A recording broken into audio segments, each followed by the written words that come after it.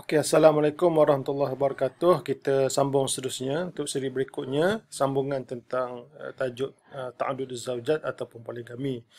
Okey, ammal mahabbatul qal qalbiyyatu allati la tuwallidu zulman amaliyan li ihdahunna falaysat min muqawwimat al-adalati al-mafrudi tahsiluha baina zaujat.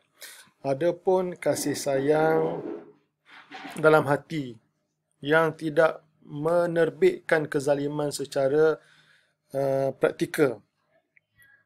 Maksudnya condong dah dari segi kasih sayang tapi tak tak ada sampailah kepada uh, berlaku zalim kepada isi yang tidak disukai tersebut sampai pihak memukul itu adalah bukan daripada asas-asas keadilan yang wajib uh, di, dihasilkan ataupun wajib diperolehi antara isteri Ha, kan? Ha, maksudnya kalau nak suruh kasih sayang ni sama 50% 50% ni iaitu bukanlah asas keadilan yang dituntut dalam Islam lah. Yang dapat yang boleh diperolehi di antara isi-isi.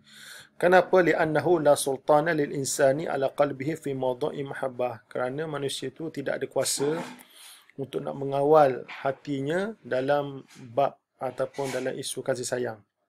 Okey wala'alla Hada huwa alladhi anahu al-Quran al-Karim biqalihi ta'ala.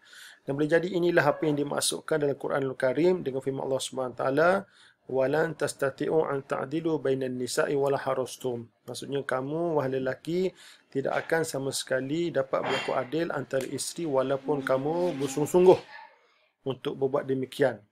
Apakah maksud ayat ini? Maksudnya ay la tastati'u antum siku bizimami qulubikum fi tahqiq al-musawati fil mahabbati. Maksudnya kamu ini tidak akan mampu untuk nak memegang tali kekang hati kamu. Tali, tali nak kontrol lah maksudnya nak nak kontrol. Zimam ni asalnya tali.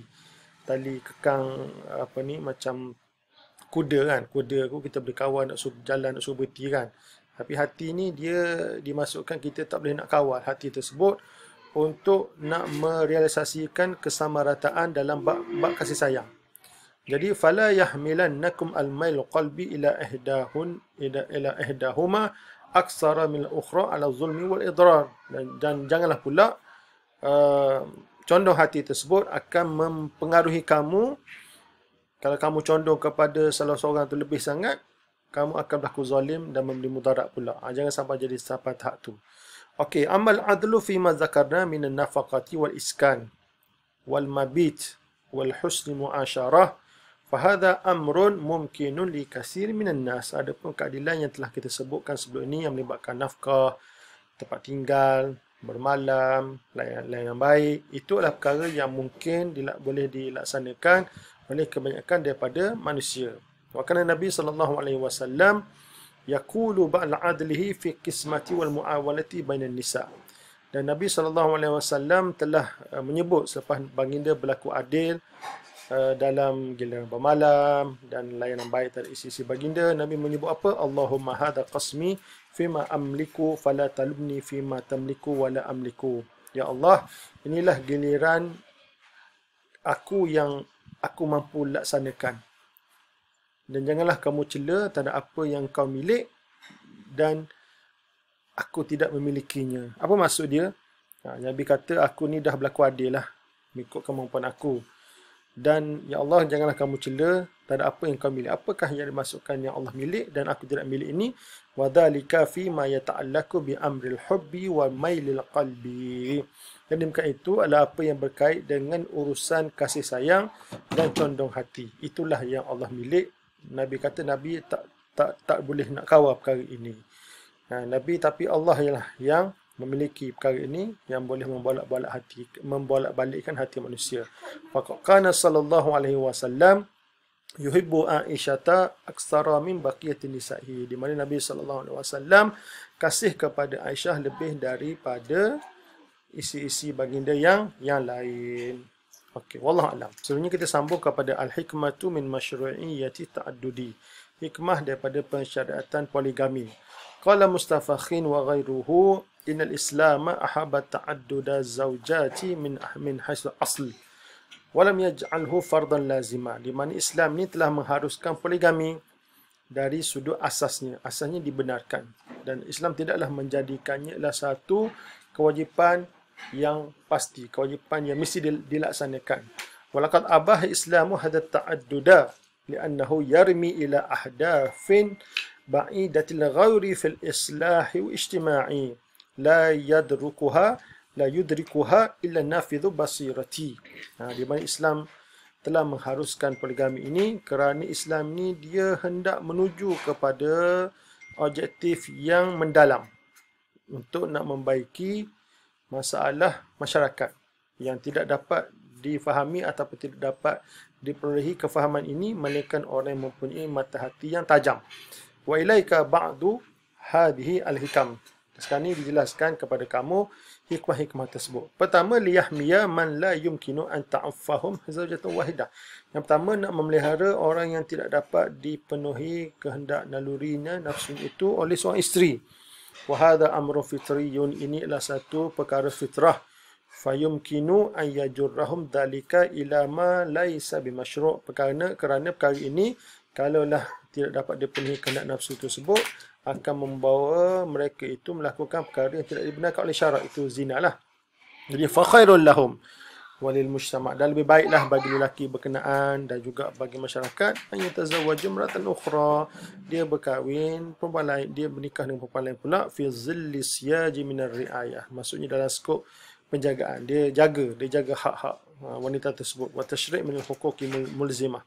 Dan juga dia juga melaksanakanlah hak-hak yang diwajibkan ke atas diri dia. Kan dan diberikan hak dia dapat hak dia diberikan hak juga uh, kepada isterinya itu. Wal karamah laiqah. Uh, wal karamah laiqah. Dan juga perkahwinan macam ni dia akan jadi mulia daripada dia simpan perempuan simpanan kan? Min ayyaqu fi zina. Lebih baiklah dia buat perkara tersebut daripada dia terjumus kepada zina. Yang pertama.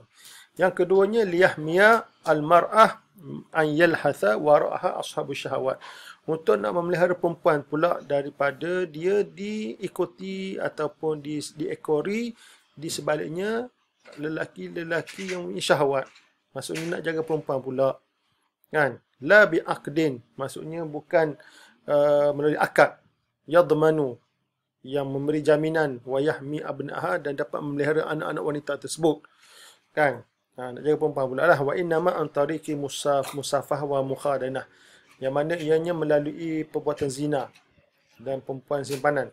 Mimma yaj'alu tilkal mar'ah urdatan litardi wal harman min kulil haq. Yang menjadikan perempuan tersebut terdedah kepada uh, dihina dan diharamkan daripada mendapat segala hak. Wa yaj'alu awladaha mahrumina min hukukin nasab wa utfil ubuwah. Yang menjadikan anak-anaknya diharamkan daripada mendapatkan hak nasab dan kasih sayang bapa. Nah, ini kalaulah jadi perempuan simpanan lah. Fali antaku zawjatan saniyah mahfuzat al-huquq wal karama khairul laha alfu marrah min an tadilla ayyima. Dia kata jadi isi yang kedua yang terpelihara hak dan kemuliaan lebih baik baginya seribu kali ganda lah daripada terus menjadi ayyim jadi maksudnya tanpa suami atau ta'anshu khadinatan atau asyiqatan ataupun hidup dalam keadaan menjadi perempuan simpanan menjadi uh, maksudnya inilah perempuan simpanan ataupun uh, kekasih. Yang mana mimma yu'ariduha fi natijati lil bu'si wasyaqa yang akan mendedahkan perempuan tersebut kesudahannya kepada kecelakaan dan kebinasaan dan kehampaan. Kan? Ha, jadi perkara ini akan dapat himayat mujtama' yang jadi sini akan dapat memelihara masyarakat min inhilali wal fasad daripada akhlak yang buruk dan kerosakan. Wal fawda khulqiyah dan akhlak yang huru ha, jadi inilah kita tengok ada dua sudut lah. Bab poligami ni nak jaga lelaki yang berhajat dan juga nak jaga perempuan supaya dia ni tak jadi perempuan simpanan dan akan menyebabkan lahir anak yang tidak akan terjamin apa benda ini masa depannya.